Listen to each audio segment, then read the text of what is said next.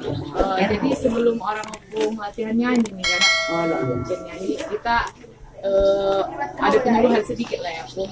Silakan dulu. Oh, Eh, kota Oh, tujuh. iya. Perkenalkan ya Pung, nama saya Dr. Grace, guru pangaribuan, asal dari. Ay.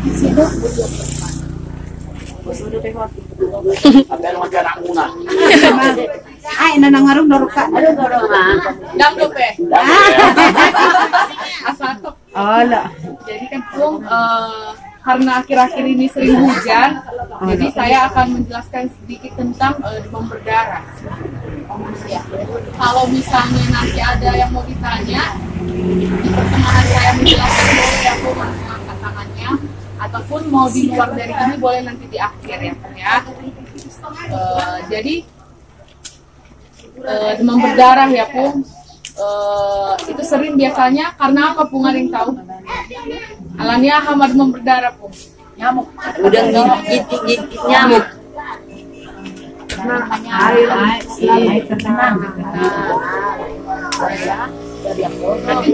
nggak Pung. Jadi eh, demam berdarah itu karena yang kita tahu itu karena nyamuk. ya. Jadi sebenarnya karena eh, jadi nyamuk sebenarnya nggak menggigit. Nyamuk itu mencucuk. Jadi mulutnya itu ada yang mulutnya itu ada yang tajam gitu memanjang kan Pung. Musuk lah dia mah. Jadi sebenarnya di tusuk nyamuk eh, dia mengeluarkan asam juga, makanya dia jadi pedih, sakit kan? Bayangnya lah ditusuk ya kan, sakit kan Pung. Jadi di dalam badan nyamuk ini kan ada parasit. Nah, pas dia nyucuk, masuk dia parasitnya itu ke dalam darah, itu yang bisa bikin orang darah. Ya, baru kalau misalnya sekali digigit nyamuk demam berdarah, kekebalan tubuh tiap orang beda-beda pun. Ada yang digigit 10 kali baru dia jadi, ada yang digigit dua kali baru dia jadi. Ada orang tahan, tidak sampai berdarah-darah. Ada yang cukup banyak minum sembuh, ada yang harus sampai dirawat di rumah sakit. Ada yang sampai jadi yang demam berdarah ini ciri-cirinya kayak mana yang kita tahu kan bu sering dia keluar kalau terang siang dia nggak keluar kalau malam-malam nah jadi yang keluar malam-malam itu nyamuk malaria nyamuknya demam berdarah itu pun dia kurus ada garis-garis putih di badannya itulah dia ciri-cirinya coba perhatikan nanti pun kalau ada nyamuk lewat kok ada putih-putih itu nyamuk demam berdarah yang menggigit kita pun itu yang betina. Kenapa? Karena dia mau masukkan telurnya. Darah kita itu ada komponennya yang bikin telurnya itu jadi bagus. Nah, dia sembari memasukkan telur, membutuhkan telur itu, e, membutuhkan darah kita itu, masuk juga parasitnya bersamaan. Gitu. Sebenarnya bukan dimaksudkan dia untuk ini ya. Nyamuk demam berdarah itu terbangnya itu nggak bisa lebih dari 100 meter. Jadi biasanya kalau ada yang kena demam berdarah di sini dekat-dekat rumah ada juga itu biasa. Kan sering ditanya kalau misalnya ada orang demam ada yang demam nggak? Di rumah yang demam atau kalau satu sekolah karena biasanya kan terpapar sama-sama kan Bu? Kayak mana ciri-ciri demam berdarah? Dia demamnya 3 sampai 7 hari demam tinggi. Eh, demamnya terus tinggi biasanya ya, Bu. Nggak dia pelan-pelan pelan-pelan kadang sampai nggak turun dia dengan obat dikasih obat turun bentar naik lagi ya karena itu mekanisme badan kita Eh, karena kami dari promosi kesehatan yang paling penting itu kayak mana mencegahnya ya pun kalau pengobatannya itu nanti biasanya harus banyak minum banyak minum. Terus kalau memang udah sampai berdarah harus ke rumah sakit ya. Ke IGD langsung biasanya itu kalau udah gawat. Nah tanda-tanda bahayanya itu biasanya kayak mual muntah sakit perut. Hati-hati sakit-sakit perut rupanya di dalam udah terkumpul aja darah gitu ya kalau demam berdarah ini ya atau eh, malas minum malas minum. Udah aja tensinya. Jadi aku baru lagi ngomong. Dua menit kemudian nggak sadar gitu ya. Nah itu yang bahaya. Jadi kayak mana cara mencegahnya? Pernah dengar 3 M?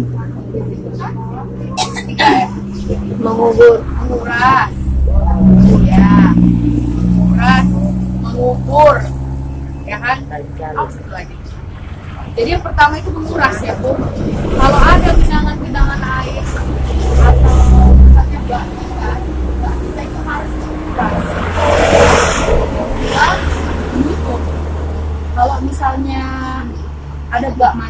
genangan ini yang paling keren.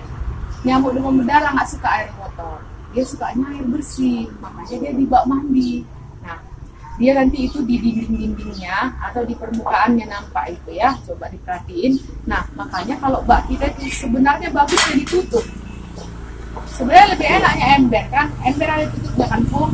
nah kalaupun ada baknya tutuplah mana pakai apa apalah ya kalau plastik mau kan agak jatuh. Apa yang keras lantai papan refleks gitu ya.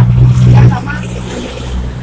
Nah sebelum itu nanti mengukur kalau ada barang-barang bekas sebaiknya dikubur. Tapi nengok-nengok barang bekasnya juga. Kalau misalnya plastik ada baiknya didaur ulang.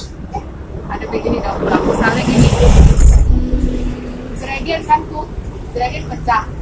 Potong setengahnya jadikan nah, ya. Karena kalau plastik didaur ulang kalau dia bersatu dengan tanah butuh waktu puluhan tahun baru dia hancur ya. Oke kalau kayak apa ya mangkok-mangkok atau apa gitu semua dicelupupkan ya. Jangan ada yang terbalik ke atas. Eh, sama yang paling penting kalau yang baru sekarang Departemen Kesehatan itu bilangnya 3M plus. Tambah pemberantasan sarang nyamuk. Itulah dia yang pakai buku abate. Tapi hati-hati juga ya Pung kalau misalnya ada datang-datang ke rumah nawar-nawari buku abate tanya mana surat atau tanda pengenal karena bisa aja entah pasir atau apa digiling gitu ya. Buku abate itu beda dia ya. Nanti jadi nggak ada hasilnya bayar mahal-mahal ya Pung. Buku abate sama sering ikan cupang. Kalau misalnya punya kolam ikan dikasih ikan cupang karena itu makan nyamuk. Karena nyamuknya suka terbang rendah sama eh, pakai yang alami-alami tuh tanaman ada yang tahu kok